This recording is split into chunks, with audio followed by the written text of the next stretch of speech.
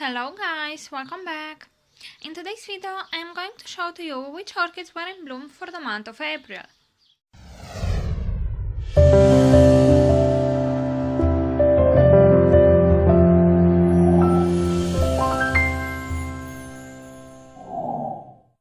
I know I am a little bit late with this video, but uh, you know how it says. It's better late than never. So let's start with this beautiful Miltonia sunset. We have uh, repotted together this orchid and uh, she's doing amazing. She has opened all the blooms and as you can see the blooms are opening uh, with the um, sepals intense yellow and uh, with the petals um, a little bit orangish with some um, purple veinings and uh, some splashes here. She's very very pretty. And the lip is the most amazing thing ever. As you can see she has uh, this very striking magenta color on the lip with a little bit of red here. So she's very beautiful. And as the flower ages it starts to fade a little bit now, um, not all the blooms have the proper size that the Miltonia Sunset can have. As you can see, the blooms can get quite large, but uh, these ones are starting to fade a little bit. And that is not uh, the normal lifespan of um, these blooms, but rather because I have repotted this orchid and when I have um, sprayed with hydrogen peroxide I uh, damaged a little bit the blooms because uh, hydrogen peroxide burns a little bit the blooms. And here it is this beautiful and very fragrant Cattleya Jacky uh, Princess Jacky. This uh, it's actually a no ID, and Danny has named her like that. And uh, until we find a proper ID for her, she will uh, remain um, with this name. Now this orchid it is so so fragrant and uh, unfortunately the blooms are starting to fade. She has been um, affected by botrytis and if you don't know what this is, visit the link in the description of this video because I have a video and an ebook about uh, this and uh, you should check that out. She has such a powerful scent. She smells like cloth softener and uh, a little bit like lilies and uh, it's smelling so so nice. As you can see the blooms are uh, not very large but uh, they open so so pretty. You can see all the petals and sepals are uh, pulled uh, back and uh, the lip it's also very very pretty. So this orchid in a contest would earn such a nice place i'm sure of that and here we have this uh, beautiful phalaenopsis cassandra. And uh, she has so many blooms. I'm so proud of her. I hope she will branch out some more. I can see some nodes here starting to swell like this one here. So um, she's a very prolific bloomer and the blooms are so pretty. Let me focus I definitely recommend you go and check uh, out for this orchid because uh, she's very very pretty and uh, and as you can see she makes a very very nice display that I am very proud of but I cannot take any credits for these blooms because um, these orchids are are recently purchased and I am sure next year they will do even better with my care. And here we have still in bloom my uh, Miltoniopsis patricia marie Linares. As you can see the blooms are starting to fade and the botrytis didn't spread all that much. You can see she already had those spots there and this has developed recently but uh, she's very very fragrant. I'm a little bit worried about this color break but um, I will see next year when she will bloom because uh, as you can see this is the first spike that she developed and the blooms look okay but this one the second spike looks like uh, she has a virus so I am keeping her a little bit uh, separate. She doesn't touches any other leaves of other orchids and um, we will see next year. And here we have the beautiful Miltoniopsis red tide still in bloom still being beautiful and very fragrant and she also has another spike here that uh, it's kind of wait Oh, it's dried up. Hmm. Well, better she. I'm more happy she did that because uh, I want her to develop this new growth here and to produce some more uh, roots. She doesn't have a huge root system, so she is recovering. As you can see, she has a few wrinkles here, and this um, white uh, deposit on the medium it is uh, because of the fusarium fungicide that I use and uh, yeah it will go away soon after I uh, flash the pots truly and here we have my beautiful Miltonidium Bartley Schwartz. This year he has produced only three blooms, but they are so pretty and the fragrance it's so so powerful. It has a very floral scent, but it reminds me of freesias and it's so powerful, so nice. The This orchid, it is huge, but it was uh, mistreated for a long time and uh, now she's recovering. She's starting to produce more and more roots I hope you can see here I have a root tip there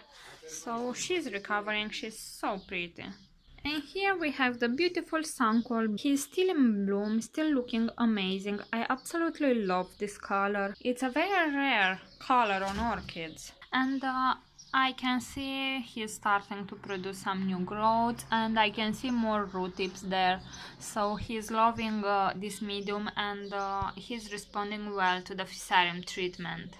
And here we have a beautiful Tolumnia orchid. I have recently purchased this orchid from um, Secret Garden and uh, she's very very pretty. The blooms are uh, lasting quite well and I hope she will branch out but she also doesn't have a lot of roots. I have uh, potted her in semi-hydro, as you can see. This is the reservoir. This is a normal cup actually, but um, it's working okay and all the roots will adapt to this new environment. And I hope next year she will uh, produce more blooms because this is the first blooming of this orchid they um, I have here two orchids and they are seedlings they are exactly the same type and I have found an ID for her and I will add it in the description of this video because um, this tag only says uh, Tolumnia jairak flyer and uh, I have found a variety of it. Here we have this beautiful Phalaenopsis harlequin.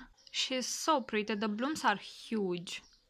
Look at the size of them she's amazing and uh, she's producing more blooms. They open a very small size actually and after that they start to grow some more. Because uh, at the first this bloom was half of the size she's right now and she is producing some more buds. So uh, I will have a very nice cascade of blooms. When I have purchased it it dropped some blooms and uh, that is why I have some buds missing here, like usually Phalaenopsis do. And here we have this amazing Phalaenopsis Orange Delight. She's very very pretty. As you can see the blooms are uh, a very interesting orange with some uh, pale red veinings and the lip it's the most amazing red I have ever seen on a phalaenopsis. She's amazing. She this is the first time she reblooms for me and uh, I hope she will give me more and more bloom. I love orchids that have this uh, orangish colors uh, in combination with uh, red lips. It's amazing and uh, this is the natural color of the lip. So she's very very beautiful and here we have the amazing Dendrobium phalaenopsis pastel pink. As you can see, one of the spikes almost fully opened.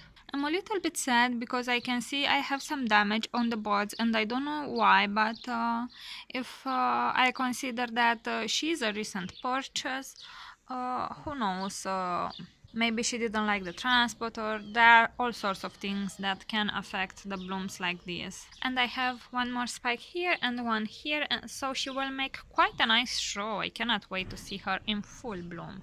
She is not fragrant but uh, for the number of blooms she can produce uh, she totally compensates it here we have the beautiful Phalaenopsis Sogo Golden.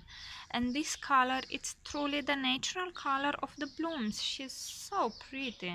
And she is a little bit fragrant. She reminds me of um, lemons but it's a very faint scent. Uh, you can only feel it if you stick your nose into it this is the first blooming of this orchid and she's very special for me. I remember I have purchased it about two years ago and um, she was very sick at that time. She didn't have a good root system and now she is producing a huge spike. I can see the spike, it's quite thick. So I can suspect she will produce more and more blooms as you can see here. Uh, I don't expect to have a cascade of blooms but uh, this is good for me. And uh, here I had an accident and a leaf got broken. But uh, as you can see uh, my orchid it's not leaning over so I have her for so many years and she's growing beautifully. And this is because uh, I have a very interesting maintenance trick for phalaenopsis to stop them from leaning over. And if you want to see that video that I have make sure to check the description of this video. Because you can have uh, phalaenopsis growing upwards too if you follow a few easy rules very special orchid. You don't see all that many orchids with uh, white uh, on the lip and on the nose, on the lobes too. Very, very pretty. And here we have the beautiful Cattleya aurantiaca mishma spots. Uh, this orchid has a fungal infection and uh, she was a little bit sick also when I have got it from Look Orchidian last year but she produced one single bloom for me and the bloom is amazing. She produces small blooms of about 3 to 4 centimeters in diameter and they don't fully open as you can see but she produces a huge number of red spots those waxy blooms so I really like her for that. And the beautiful Laelia purpurata variety Vincolor is still in bloom. This year, the blooms are resisting a lot longer than last year. Last year, the blooms faded in about two weeks, and right now she is uh, going towards the four weeks so uh, this is amazing. She has huge huge blooms and I absolutely adore this orchid. I have a presentation video for this orchid and uh, I really hope you will go and check that out because uh, she is so fragrant and in that video I made a very nice description of the fragrance and um, yeah huge blooms and I cannot wait to see this orchid as a specimen size with a huge number of blooms. I imagine she will look amazing then. And here we still have in bloom this beautiful Oncidium pupukea Hawaii variety album. The blooms are quite tiny and uh, they have a waxy texture to them with a very pretty lip. The lip is uh, white with uh, a very light pink center. The blooms uh, didn't uh, resist all that much, but uh, I guess she was in bloom for some time. So right guys, this is all for today. If you have enjoyed this video, please give it a thumbs up and if this is the first time you are watching a video on my channel, please consider subscribing to it so you can stay up to date with all my orchid videos. I try to post almost daily, let's say. Thank you for watching and see you all next time. Bye!